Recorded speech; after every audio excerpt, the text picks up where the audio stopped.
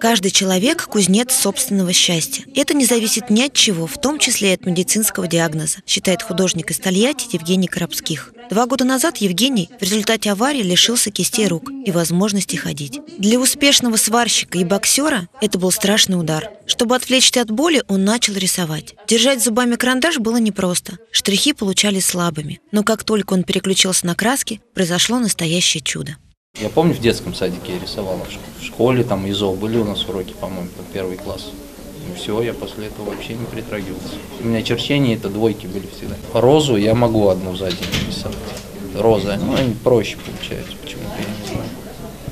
А вот, например, вот такой городской, вот это 4 дня. Просто когда я рисую, мне, мне спокойно, мне хорошо. Сейчас Евгений автор 80 картин. Самые любимые из них – морские пейзажи. В родном Тольятти художник провел уже три выставки. Является лауреатом первой степени в областном художественном конкурсе. По приглашению самарских властей Евгений привез 50 картин на суд зрителя.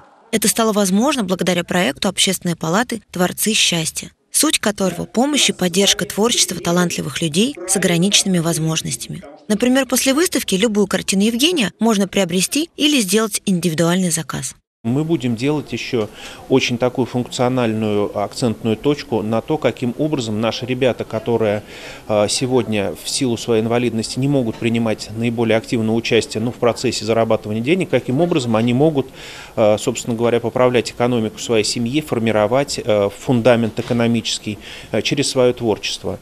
На открытие выставки пришло более 70 человек. Из них 20 волонтеров культуры из различных вузов Самарской области.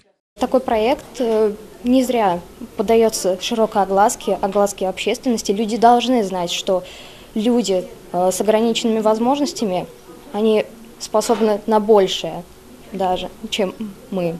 Проект запланирован на один год. В следующем году спикерами выступит 12-летний певец лишенный зрения, глухонемой актер пантомимы, девушка-поэт с ментальным отклонением. Более детальная информация будет размещена на сайте Самарской юношеской библиотеки. Елена Нижегородцева, Дмитрий Мешканцов. События.